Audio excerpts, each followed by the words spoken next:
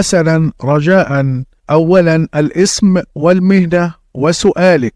أنا أدوس ياجو أنا دبلوماسي في السفارة الهندية.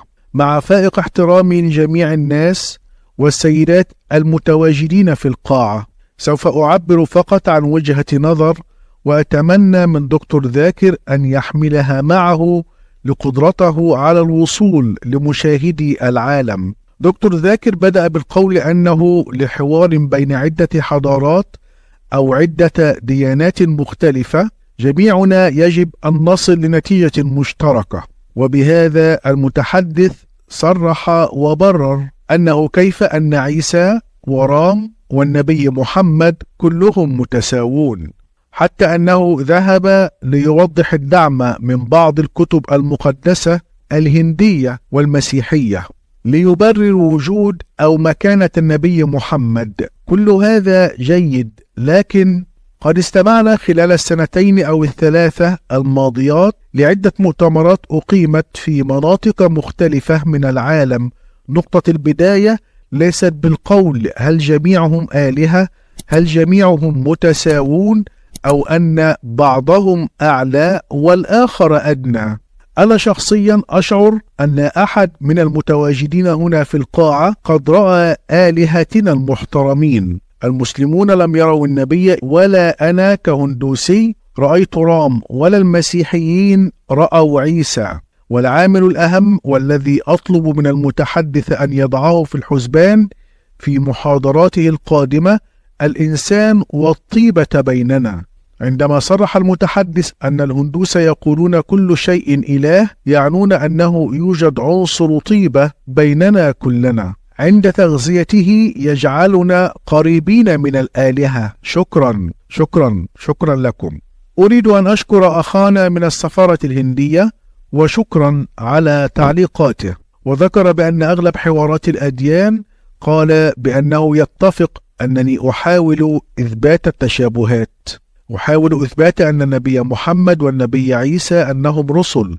نعم نتفق على هذا. رام قد يكون أو لا يكون. تستطيع العودة لمحاضرة التشابه بين الإسلام والهندوسية. ربما وربما لا. وإن كان فقد أرسل للناس في ذلك الوقت. لكن قال أنه في حواراتنا عن الديانات لا نتناقش عن الآلهة.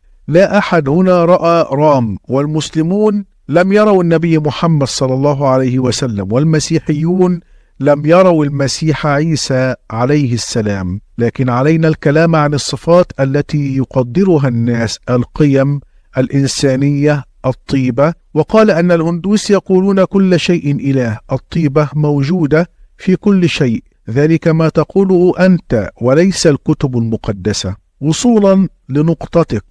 أنا أتفق معك. أولا نتكلم عن صفات الإنسان الجيدة. لا يكون المسلم مسلما بحق إلا أن يكون إنسانا جيدا. الواجب الأول على الإنسان هو أن يشكر خالقه الإله العظيم. إن كنت لا تستطيع شكر وعبادة خالقك الإله العظيم ما فائدة مساعدة جارك؟ لا فائدة من ذلك. عليك مساعدة جارك عليك مساعدة الفقراء لست ضد ذلك لكن إذا كنت تقلل من احترام الآخرين ولا تستطيع شكرهم لا تستطيع عبادته. كل أعمالك لا قيمة لها ما دمت تقلل من احترامك للإله. لهذا السبب ذكر في القرآن في سورة النساء رقم أربع الآية رقم ثمانية وأربعون وسورة النساء رقم أربع الآية رقم 116 إن الله لا يغفر أن يشرك به ويغفر ما دون ذلك لمن يشاء. ومن يشرك بالله فقد ضل ضلالا بعيدا. أعظم ذنب في الإسلام هو الشرك الشرك بالإله. كذلك ذكر في القرآن في سورة المائدة رقم خمس آية رقم 72 لقد كفر الذين قالوا إن الله هو المسيح ابن مريم. وقال المسيح يا بني إسرائيل اعبدوا الله ربي وربكم إنه من يشرك بالله فقد حرم الله عليه الجنة ومأواه النار وما للظالمين من أنصار. إذا أعظم ذنب في الإسلام هو الشرك. نفس الشيء ذكر في الكتاب المقدس. ما اقتبسته لك يجب عليك أن لا تنشأ صورة عني. نفس الشيء مذكور في الفيدا. فعند كلامك عن صفات الإنسان أفضل صفة هي صفة شكر خالقنا الإله العظيم. لا يحتاجنا أنا وأنت. سوف تسألني إذا لماذا علي أن أشكره؟ الناس تسألني لماذا تقول الله أكبر؟ لماذا علينا أن نصلي للإله؟ أقول لهم انظروا في الإسلام إن صلينا للإله أو لم نصلي لا فرق. لله سبحانه وتعالى. عندما أقول الله أكبر هو أساسا الأعظم بقولي الله أكبر لا يصبح أعظم لماذا نقولها؟ هل تعلم لماذا نقولها؟ لأنني عندما أعظم أي أحد عندما أقول عن أي شخص عظيم إنها طبيعة بشرية أنا أتبع أوامره مثلا إذا أصيبت أمك بأزمة قلبية وفرضا هنالك رجل عمي قال لك افعل كذا وكذا هل ستفعل؟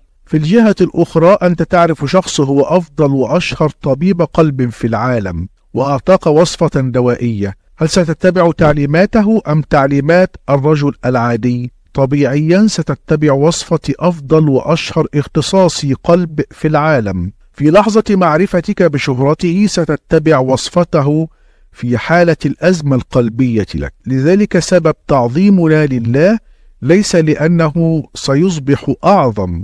عندما نعظم الله في لحظة تعظيمه سنتبع أي أوامر أعطانا إياها في القرآن. لذلك علينا أولا أن نعرف من هو إلهنا العظيم وبعد ذلك يجب علينا اتباع أي شيء يأمرنا به.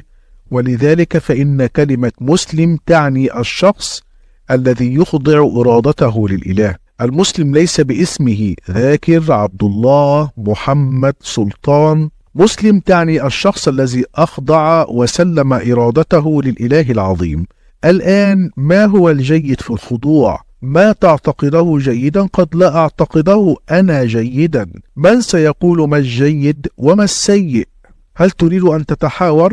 أفضل شخص يحدد ما هو الجيد وما هو السيء بالنسبة للبشر هو خالق البشر الإله العظيم فإن لم تعلم من هو الإله العظيم الحقيقي وما هي سماته يجب أن تعبده وحده بالطريقة التي يجب أن تعبده فيها كل معايير البشرية لا فائدة منها. المعيار الأول هو شكر الخالق الإله العظيم. هذه أفضل صفات البشر. وما هو الجيد والسيء؟ لنا ستختلف به الآراء. حتى الأطباء يختلفون. أفضل الأطباء هو خالق البشر الإله العظيم. هو يقول لك الخمر حرام. في الفيدا في الكتاب المقدس في القرآن لا تشربوا. يقول لحم الخنزير محرم. في الكتب المقدسة الهندوسية الكتاب المقدس في القرآن لا تأكله. القمار محرم. ما الجيد وما السيء؟ كيف ستعرف؟ إنه الخضوع. لذلك هناك سؤال. هل يدخل الناس الطيبون لجهنم؟ هذا السؤال. فأسأل ما هو الجيد؟ مقارنة بما يظنه الناس جيد. جيد نحب بعضنا لا مشاكل. الذكور والإناث يختلطون. الأفلام الإباحية لا مشكلة. كل شيء جيد. إذا هذا ما تقول أنه جيد. لا مشاكل في الاختلاط الشذوذ الجنسي. كل شيء جيد. أناس طيبون كهؤلاء بالتأكيد سيدخلون جهنم.